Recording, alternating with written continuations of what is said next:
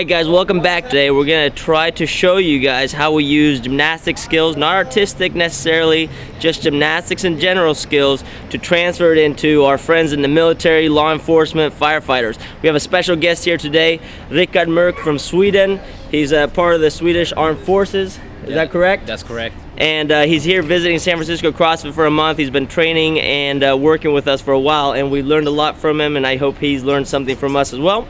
And what we want to really do today is just take very basic movements that we see in gymnastics and teach you guys how to transfer this out onto the field. In this case, it's going to be military based, and we're going to just see some basic, basic movements, and hopefully you can guys can relate a little bit and, and make it happen. So check it out. All right, guys, so when you're on the field, from what I've learned, there are some basic positions that you have to review. Standing position, kneeling position, and lying on the ground, either on your belly or on your back. So uh, I just want Rickard to show us a couple of those positions, what it would look like in the field when you have the gear on. And I know there are different shooting positions. I know nothing about this, but Rickard's gonna explain a little bit. So what's your first kind of standing position that you look for when you're, when you're in the field? Standard uh, position is like standing uh, firing position. You have like your chest in front. You want to have the plates in front to protect you, and you stand like this, ready. Okay. Yeah. Cool, so that's just a partial squat, standing, nice and tight. Hopefully you have some balance and stability so the shooting... It is. It is. Yeah. You have to have the core stability. You know. Yeah. To keep the recoil. Okay. Then we have the second one. It's like kneeling position.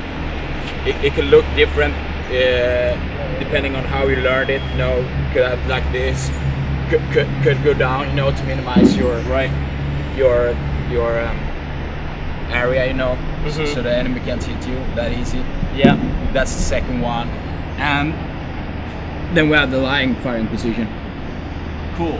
So one of the things that you've seen in the field is that uh, we're having a hard time maybe transitioning from one and another of these. And uh, what what is it you find that that uh, that's been the biggest limiting factor in these transitions? Is it is it mobility? Is it just a, a lack of just learning the movement, or it, is it because you're carrying really heavy gear and it makes it really awkward?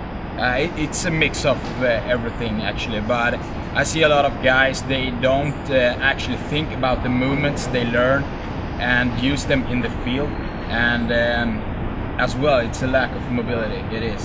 Definitely. It is, yeah. Definitely. So what we want to try to do is we want to try to do uh, basic gymnastics skill, which in this case we're going to talk a little bit about a burpee. How do we get from the ground to kneeling, from the ground to standing in the most efficient and fast manner possible? Um, so we're going to take the ideal situation of what a CrossFit gymnastics burpee would look like, and then we're going to try to translate it into what uh, someone in the military would use, like when they have all the gear on and weapons and all kinds of stuff. So we're gonna start with um, just your uh, a bottom position where you're lying down on your belly. Yep. We're gonna imagine that he's lying there with the gun, he's ready to go. You can see that that leg in the back is actually turned out a little bit to the side. Is that because you're looking for more stability, more surface? It is. It is. Yeah. So what would be the basic way of you getting up onto your feet from there if you had to move fast? It would be, I would like a, a burpee kind of moment. I would release the weapon, it's linked to me, and I will try to get up to the feet real quick, as quick as possible. Okay, so you, you're definitely thinking about that burpee transition as, as you're doing as you're doing that movement. So so one of the things that we see is that a burpee is such a simple movement. Everyone hates it and dreads it, but it can definitely translate really easily into all these basic survival movements that we have out in the field. So what we're going to talk about is how do we transition from the ground to that burpee and things to think about as we do that. I know we catch a lot of people kind of sliding their feet, having to step. Can you show us a little bit what we were talking about earlier, how you had a hard time transitioning before? Yeah, a lot of people they don't have the explosiveness or not thinking enough about the skill. So, so they maybe they're taking a lot of time, you know, trying to get up using the, the legs and stuff like that, instead of minimizing the transition time between the positions and just jump up, explode. Yeah, so you, you're saying that there are a bunch of turning points. It's almost like uh, parallel parking and having to do like a 10 point turn rather than just two. Yeah, Right? exactly. Cool. So that's what we're gonna do. So in gymnastics, what we talk about, or CrossFit gymnastics, what we talk about when we do the burpee is the following: we have to get into a very strong bottom position. So you're gonna lie down on your belly. So the first thing he's gonna do, we're gonna just talk about ideal situation. So feet can be shoulder width apart. What ideally I would want to do in the beginning is flex my feet so I get my toes down and I get a little bit more support. If he's in the field, he would actually drop his weapon before he does anything and he would transition his hands kind of under his armpits. Ideal situation to create the most efficient push-up is actually elbow in position. And this is something we talk about when we're doing our muscle ups, it's something we talk about when we're doing our dips. This elbow in position is gonna generate more tension in that shoulder, is gonna place you in a better better position, head will stay neutral, and all I would wanna do here is to be able to practice a push-up where instead of driving through the shoulders, I'm actually thinking of driving through the belly. So go ahead and do a push-up, but think of driving through the belly. It's not the shoulders that push you up necessarily, it's the belly that drives you. So go ahead and do a couple push-ups just in that position there for me. So push up, drive through the belly. Push up, drive through the belly. Cool. Go ahead and rest for me. So that would be your first thing. If you can do push-ups, thinking of not driving through the arms, but driving through the belly, now you're starting to generate some power. So setup is key, elbow in position, belly drives.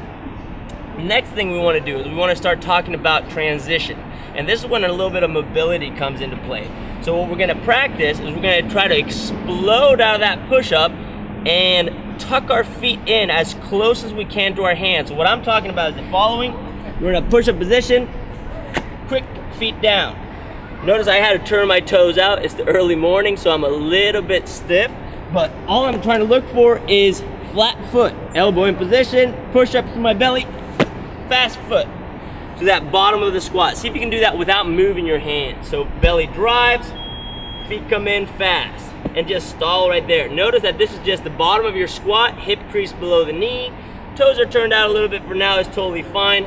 Remember, we're not loaded, we're just warming up. But we can see that this is a good position, very stable and very controlled. From there, all you can do is stand up tall, and that will be done. Good. Yeah. Now, yes, that was a fairly fast move, but if we want to get even faster, now we're going to address what the upper body is doing and how we're getting a little drive out of this. So another thing to practice would be back into push-up position, and see if we can do a couple of push-ups, but get a little lift where my hands actually leave the ground. So do a couple of those push-ups, see if your hands can leave the ground for me. Cool, so a little jumping push-ups, go ahead and rest. When we do those jumping push-ups, it's all about driving through the belly. You feel that, you drive through the hips, maintain that body nice and tight, and then you just follow through with a little chest up, release of the hands. Yeah. So the goal is to try to combine these two. Release of the hands, leg tuck in. So what's gonna happen is as he pulls his feet in, the hands are gonna be off the ground, and that's actually gonna set him up into a nice squat. So what we're talking about is push up, push up transition. So see if you can handle that.